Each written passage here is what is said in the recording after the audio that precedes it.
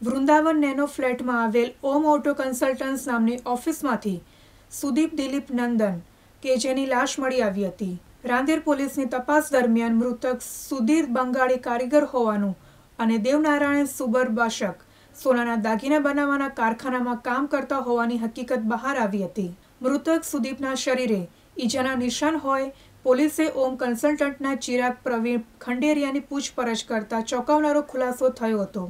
સુદીપે દેવનારાયણના કારખાનામાં સોનાના દાગીના ચોરી કર્યા હતા. સુદીપ પાસેથી દાગીના અને રૂપિયા કઢાવવા માટે અપહરણ કરી તેને ગોધી રાખ્યો હતો. સુદીપને કમરના પટ્ટેથી ઢોરમાર માર્યો હતો, જેને પગલે ગભરાઈ જઈ તેણે આત્મહત્યા કરી લીધી હતી. સુદીપના આપઘાત કરવા પાછળ તેના શેઠ, દેવનારાયણ તથા તેની પુત્રી શ્રેયાબેન કોંગ્રેસી કાર્યકર્તા મેઘનાબેન તથા અર્જુન લલનભાઈ ચૌધરીની ભૂમિકા સામે આવી હતી, જેને પગલે રાંદેર પીઆઈ એલપી બોદણાએ તેના વિરુદ્ધ ગુનો નોંધી ધરપકડ કરી હતી. સાબિર સૈડ સાથે બીજલ પટેલ, દિવ્યાંગ ન્યૂઝ, સુરત.